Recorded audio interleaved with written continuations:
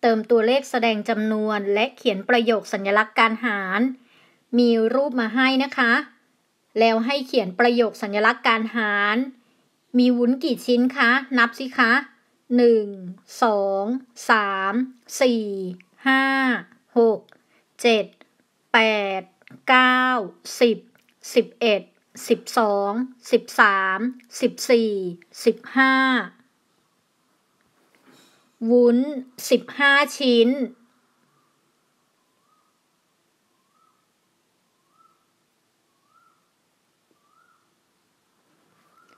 แบ่งใส่จานกี่จานคะ นับจำนวนจานค่ะ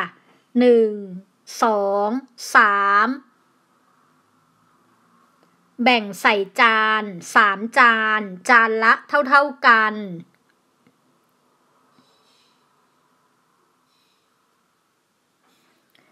ได้จานละกี่ชิ้น เราจะเขียนประโยคสัญลักษณ์การหารก่อนนะคะ มีอยู่ 15 นะคะ แล้วแบ่งเท่าๆกันหลาย ๆ ครั้งก็ต้องทำวิธีหาร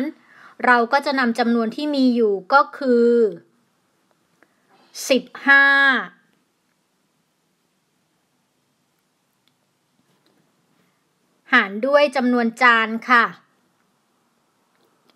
หารด้วย 3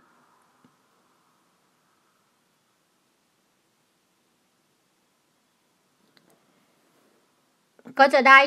15 หาร 3 เป็นการหารเวลาหาคำตอบ เราจะใช้การคูณมาช่วยในการหาคำตอบ เราจะดูว่า 3 คูณจำนวนใด จะได้ 15 โดยการท่องสูตรคูณ 3 3คูณ1เป็น 3 3คูณ2เป็น 6 3คูณ3เป็น 9 3คูณ4เป็น 12 สามคูณห้า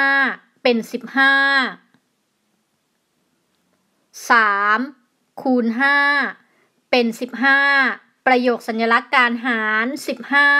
หารสามเท่ากับห้า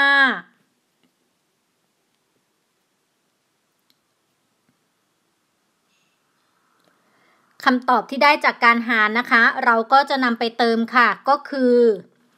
ได้จานละ ห้าชิ้น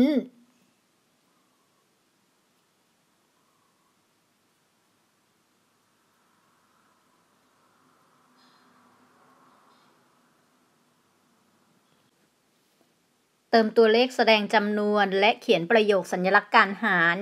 มีภาพมาให้นะคะ แล้วให้เขียนประโยคสัญลักษณ์การหาร ขนมตาลกี่ชิ้นนับสิคะหนึ่งสองสามสี่ห้าหก เจ็ดแปดเก้าสิบสิบเอ็ดสิบสองสิบสามสิบสี่สิบห้าสิบหกสิบเจ็ดสิบแปดขนมตาลสิบแปดชิ้น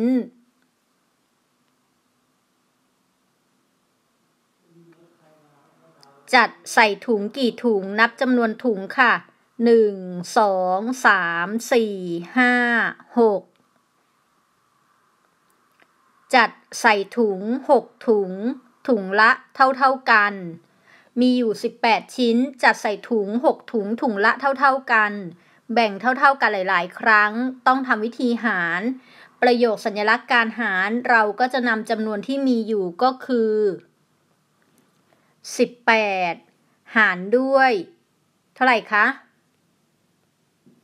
หารด้วย 6 เป็นการหารเวลาหาคำตอบ เราจะใช้การคูณมาช่วยในการหาคำตอบ เราจะดูว่า 6 คูณอะไรจะได้ 18 โดยการท่องสูตรคูณ 6 6 คูณ 1 เป็น 6 6 คูณ 2 เป็น 12 6 คูณ 3 เป็น 18 6 คูณ 3 เป็น 18 18 หาร 6 เท่ากับสาม